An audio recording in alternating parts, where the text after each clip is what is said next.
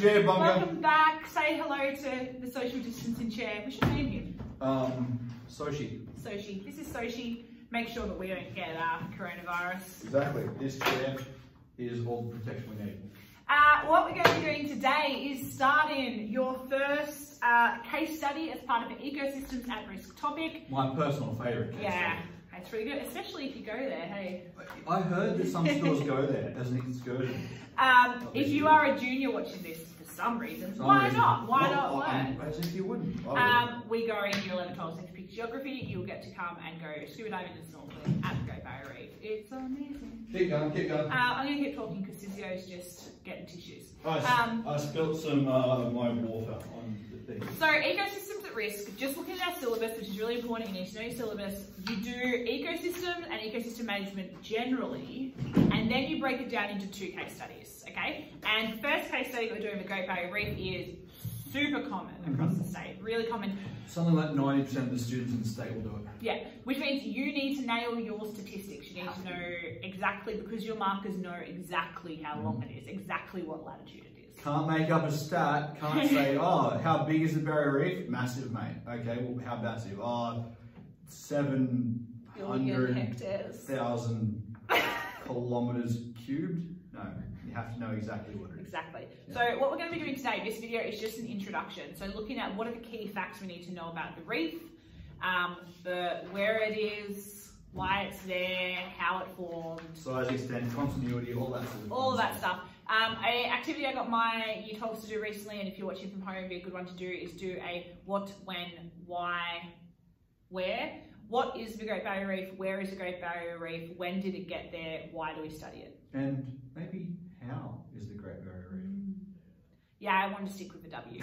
it just messed with my head too much. Dad How has a W in it? No, not the right end.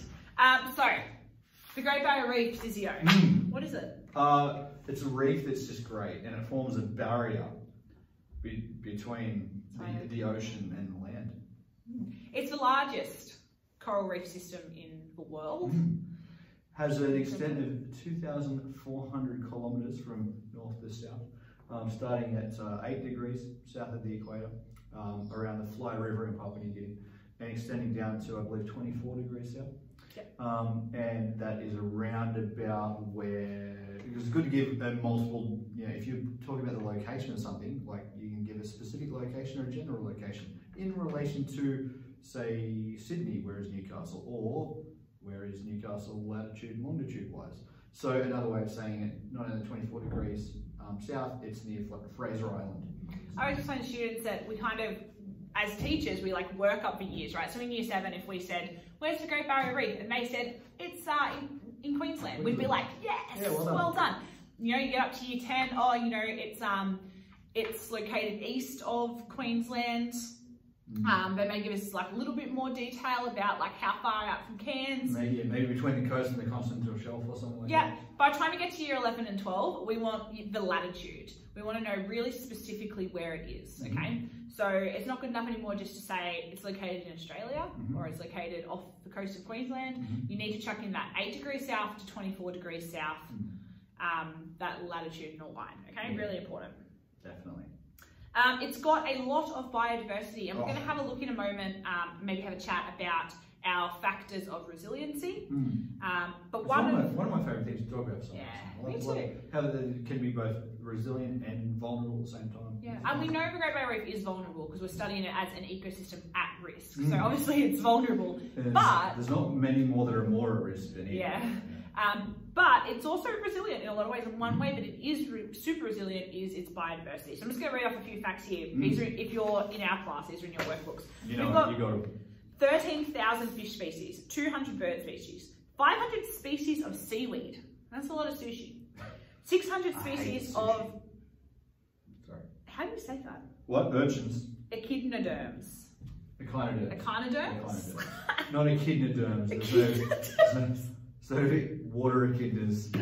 Uh, 125 species of shark and rays, um, and six of the seven sea turtle species. That's my favourite. yeah, that, that's my favourite too. Like of, of all the fish species in the world, there's only one that doesn't live on the Barrier Reef. Um, there's Turtle. more. There, there's there's more. ones. I said fish of all the fish Sorry, species. sorry. turtle. Yeah, all the turtle. Is, is a turtle a kind of fish when you really get down to it? Jay's gonna cringe if I do this. They live in the water. They're a fish, like dolphins and whales and scuba divers. Um, so, yeah, it, there's, there's much more biodiversity just in the Barrier Reef than in all the rest of the oceans combined. Mm. Really, the the Barrier Reef and, and reef systems in general are just like islands of life in a you know otherwise pretty barren environment. Like the rainforest of the sea. Exactly like And in that. the rainforest of the sea. That is so good. In year nine, we talk about net primary production, Mm. and we always talk about, and I always say, you know, which are, I go through what net primary production is, which we've done. It's about how much energy is created, and I say which ecosystem would have the most net primary production. Everyone says rainforest, but it's actually the oceans Mm. and coral reefs in particular have Yeah. the highest, By far. yeah, um, highest rate of energy production of any ecosystem in the world. So it's a weird thing to um, to reflect on that. Like uh, Australia has the most coastline of any of any country, but I believe aren't even in the top fifty in terms of fishing nations, as in the, the amount of fish that we catch. Um, that's because most of our oceans, like most of Australia, are actually desert, like an underwater desert. There's very little life there, but off the West Australian coast, a large portion of that is just pretty much barren and lifeless. But then you get to the Barrier Reef, and there's this, this explosion of life everywhere. The biodiversity is just off the scale. Yeah, so that's something that makes it super um, resilient. It's high biodiversity.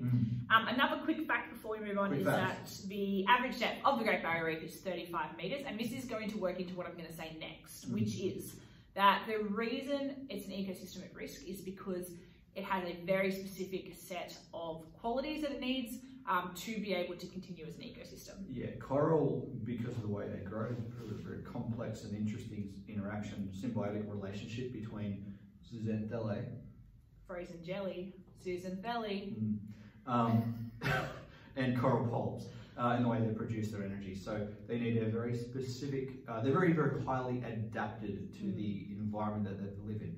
Um, they need a very, very narrow range of both light exposure and temperature. But light is very, very important because 90% of a coral's energy comes from photosynthesis. I like to think of Great Barrier Reef as a cat. I'm really liking my analogies today. The Great Barrier Reef is like a cat. If anyone has a cat, you have cats, right? I have two. You will understand. Coco this. and Megatron. I used to have a cat. Rest Notice the Luna. scratches on my hand because Megatron, Megatron is a jerk. As are most cats. And um, Are you saying, wait, wait, wait, controversial take. Are you saying the barrier reef is a jerk? I'm saying that they can only survive in very specific like set of conditions. Otherwise, they're done. And it's the same with cats, right? You can only pat them in a certain spot, or they're like done. Oh, They can only live in a certain way, or they're just like done with you. So they have to have exactly things have to be exactly right, or they're out and they leave. And that's just like the zooxanthellae. If things aren't perfect, it's not exactly how they like it, they're ejected. You have to have. What do we have to have? Don't don't eject don't eject your cat. The cat will eject itself. Oh, Have you had a cat on your lap and you pat it in a spot that's not its preferred spot and then it just leaves? yeah, yeah, I can, I can, You I see can that? see that. Yeah. Like it might try to bite you. Yeah, whereas my dog, if my dog's on my lap, I could pat it, move it, cuddle it, do whatever what I want, and it's just like, yeah, okay. Okay. It's resilient. Okay, You, you, Am I winning you over? you, I can see the angle of your analogy. The barrier reef, it's like a cat. And a rainforest. Miss Coburn, 2020. Uh, okay, so what are the really specific conditions that it needs? A coral reef, not a cat. Okay. Uh, let's start off with, with sea temperature because it's a massive one, and obviously, uh, increasing global temperatures is a thing that you might have heard about. Um, so essentially, coral can't grow below a temperature of about 18 degrees. It just can't. Um, it's too cold. Um, and anything above 29 degrees for any significant period of time um, tends to be not good at all. So the the optimal temperature range for coral is even sort of more in between. 21 to 27. Yeah, 21 Yeah, so that's what I always get my students to write down, that they the preferred temperature range. Yeah. So It can survive, as Susan said, a little bit outside of, mm. of that, but preferably 21 to 27 degrees, Yeah. which is like six degrees as a range. Yeah, and yeah. not a lot. not not at all. And most of the reef is sort of already in that upper bound. It's closer to the 26, 27 a lot of the time than it is to the, Yeah. the 21. So it doesn't take much for that uh, that increase to go above 27 in the danger zone, the red. So if it gets above 29, that can be very, very big problems very quickly. And that's when we start to see like bleaching occurring. And um, sorry, something's going on upstairs.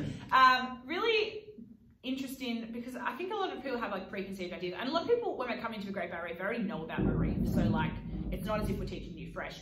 When coral is bleached, it doesn't actually mean that it's dead. Mm. So if coral experience a bleaching period, they can actually bounce back. Yeah, they can Um, re recollect their yeah. yeah.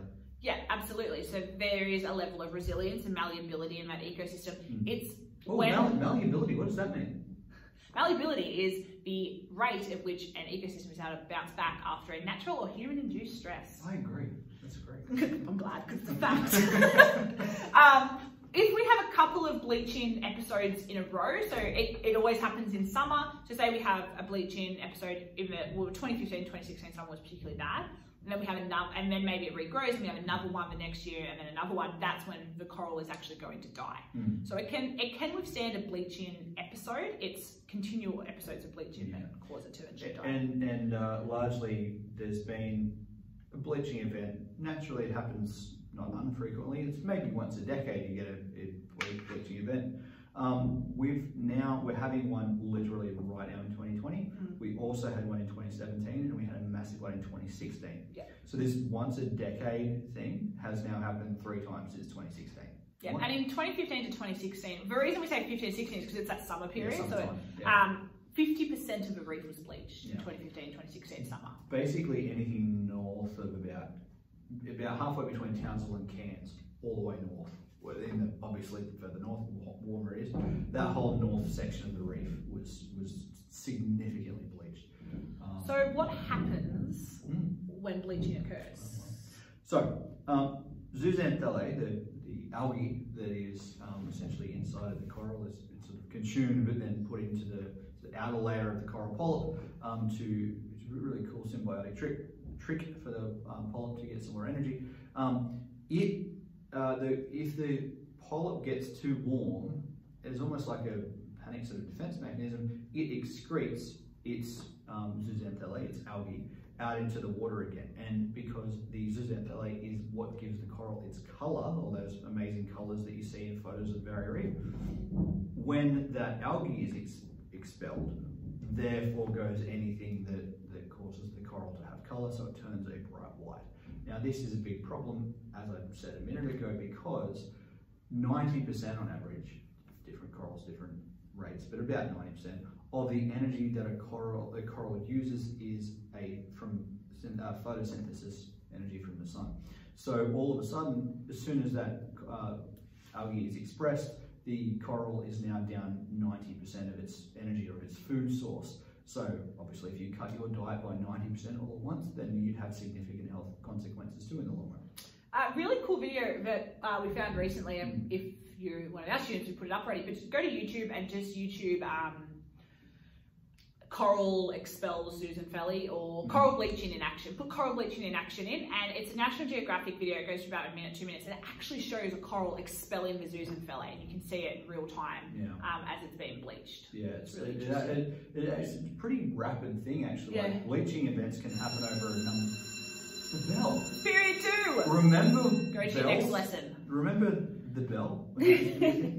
um, yeah, so it actually happens really quick. So you can have a, uh, a whole reef of coral that's completely fine, and then a week later, it's all bleached. It, it's super fast. Even o- over the period of days, you have a pretty big bleaching event. Yeah. So, um, looking at this like idea of temperature, and we're going to come back to this. Our next video is going to be about biophysical interactions, and when we get to geomorphic processes, we'll go into this in a bit more detail.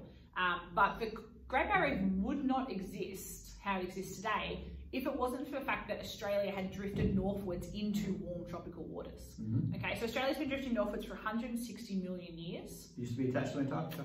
It did. Pretty cold. Yeah, so if you and if you want to look at that more, go, again, go into Google and Google um, Australia plate tectonics, and you can see we used to be really far south and in cold waters where we never could have had a tropical coral reef. This part of the Great Australian Bight, that bit used to be completely attached to like uh, uh, Antarctica. Used to like fit straight in there. So then we started to drift north, and it was this movement of the tectonic plates, this drifting northwards, that allowed the Great Barrier Reef to develop. Yeah, because for much of the last hundred million years, Australia was just in an area way too cold to for for reef, reef growth to occur.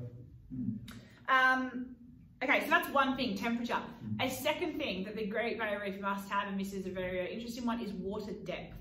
Um, very, again, very specific. It's not like it has to be a certain depth. It has to be. It can't be too shallow or too deep. Like it's it's either way is very, very bad for it. So almost all uh, coral grows between four meters and thirty meters of depth.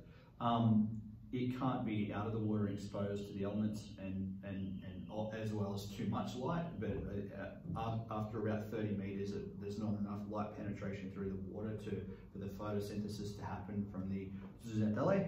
So therefore, you, you find almost all of your coral between that 4 and 30 meter zone.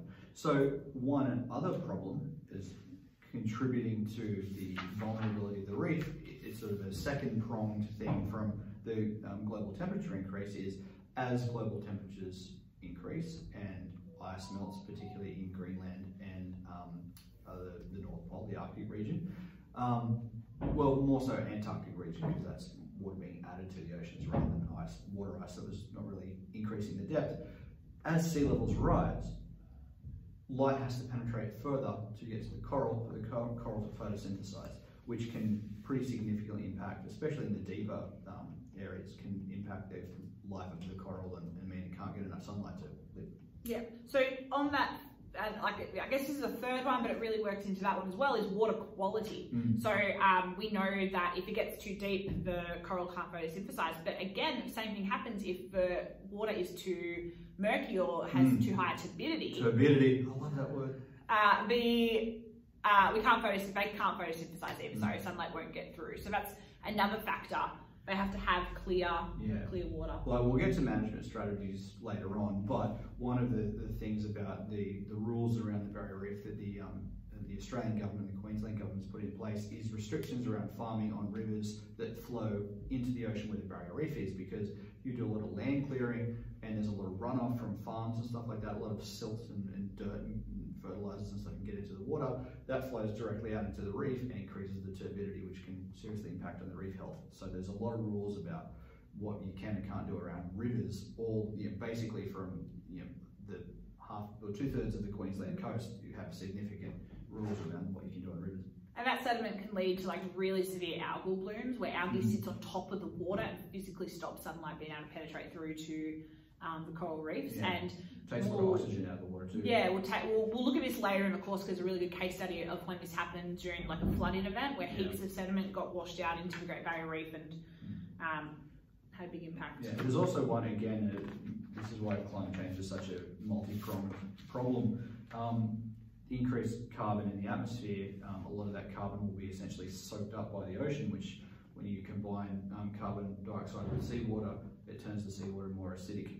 Um, so you basically end up with a more higher acid content, um, high, higher, higher or lower pH. acid. Carbonic acid. Yeah. Is it high pH is above seven is acid and below seven is Alkaline. alkaline? Is that? Yeah. Yeah, yeah. So the more the more acidic the ocean, it actually starts to dissolve away at the outer um, shell of the coral that they make to protect themselves. The um, Yeah. calcium carbonate sort of um, exoskeleton structures of the coral basically start to get dissolved, which is not a good thing. And we'll talk about that when we get to like geomorphic processes in our biophysical interaction. So if if you just heard that and you're like, oh, like I, don't, I need to know more about that, next video um, we're going to go into that into more detail again.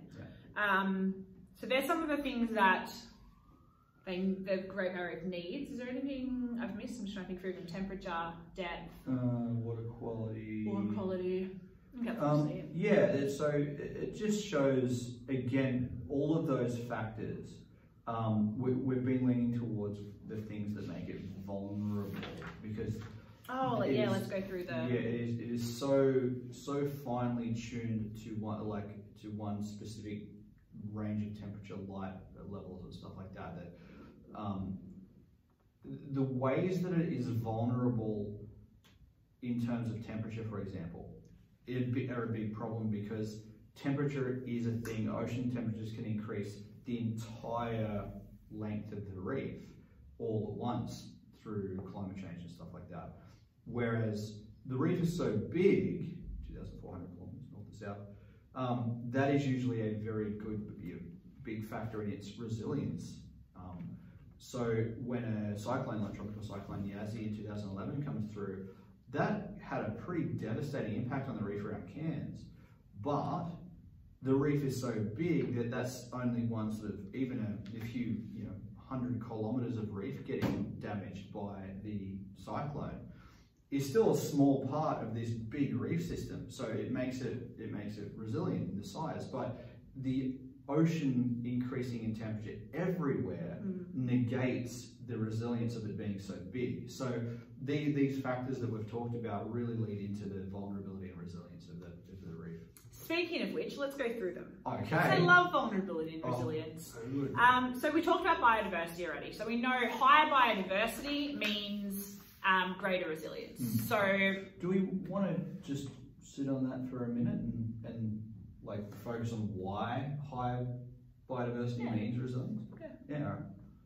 you want me to Oh no, yeah, I was like, oh, we- go go for Oh, it. so, so it's one thing to say that, like, if you get asked in a question, what makes the barrier reef either resilient or vulnerable, you can say, well, it, its extent makes it resilient and its biodiversity make it resilient. Okay, but you have to explain why and say why that is.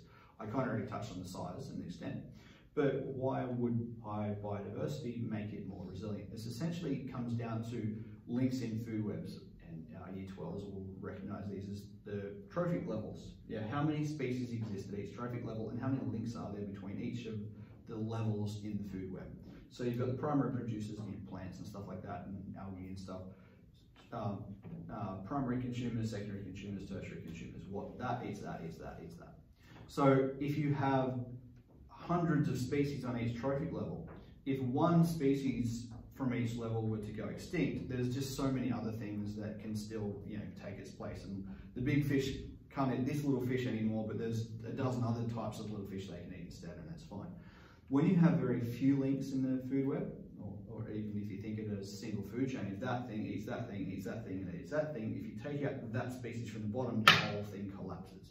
So the more linkages you have between trophic levels, because there's a lot of species there, the more resilient the ecosystem will be. Yeah, so there's um, four factors we look at for vulnerability and resilience. We've kind of covered two there, so like biodiversity and linkages, because they go hand in hand. So the, the greater biodiversity, the more linkages is going to be um, in a food web. Mhm. When we look at biodiversity as well, we also look at like species diversity um, and Uh, bio, uh, genetic diversity. genetic diversity. That's the word I was looking for. Sorry. That's right. Oh, it's That's why I'm here. We work as a team.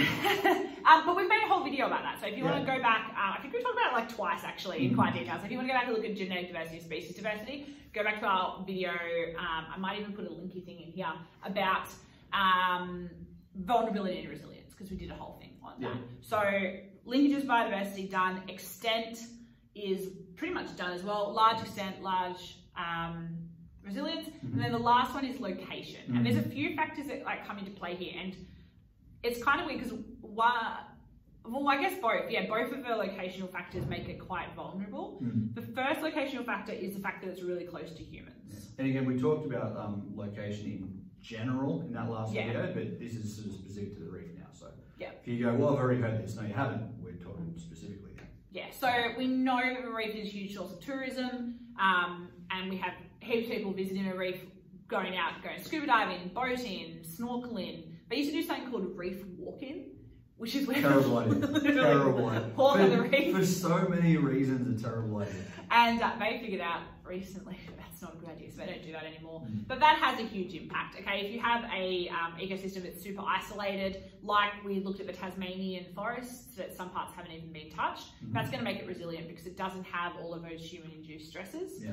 Um, the Great Barrier Reef has every human-induced stress you could possibly imagine. Yeah, it's so clear. Like, like I said, it's, it contributes massively to the economy of Queensland because there's so many people from all around the world that are there all the time. So they have managed this in ways like they've sectioned off a lot of reefs. Um, like the majority of the reef is not open to tourism, but a lot of the reef is, and there's a in those small areas where they do allow tourism, there's a lot of tourism. Like when we went when we went out on our Mm. excursion last year, did I mention that we take you 12 and 11 to anyway? Um, when we were going out from Cairns, I remember the first afternoon we arrived in Cairns and we sort of went for a walk down to the beach. Um, we just saw, remember seeing all those boats Yeah. coming back in, like just boat after boat after boat after boat. And we didn't go in peak season either. Yeah, we were, in the we were middle of outside of peak. Yeah. yeah. And there was just dozens and dozens of really large boats packed with people. Yeah. We were like about 4.35 in the afternoon that had been on the reef most of the Mm. day, just one after the other, like, you know, it's like a traffic jam in, in, boats instead of cars. It's crazy. Um, another uh, reason location makes the Barrier Reef vulnerable too is uh, it's in the tropics. And tropics off the coastline, therefore perfect conditions or perfect area that you're going to get a lot of um, cyclone activity. Oh yeah, three. Yeah. That wasn't the one I was going to say. Oh, okay. Yeah, right. Um, so obviously, if like it's a bit of a you know, double-edged sword. If you're not in tropical area, tropical area, the water won't be warm enough for coral to grow, um, which means you're always having reefs in, reefs in tropical areas, and therefore a lot of those tropical areas are going to be uh, susceptible to cyclone activity.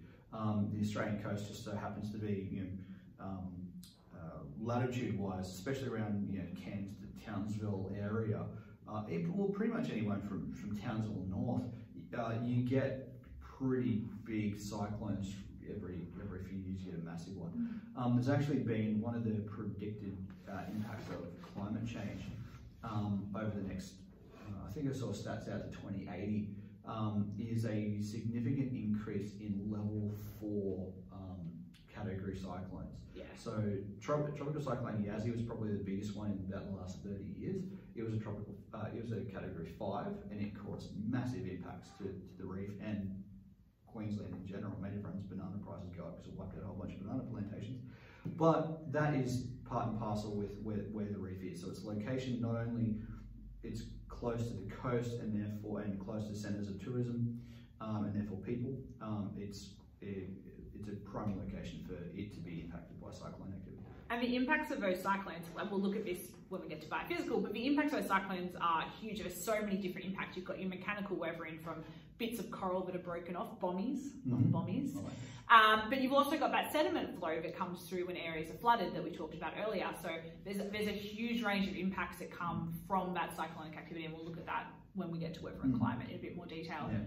Um, Um, just an interesting point, just kind of because we asked um, our doing online teaching, um, uh, did some skills work, and I, I chucked in a question through the week about.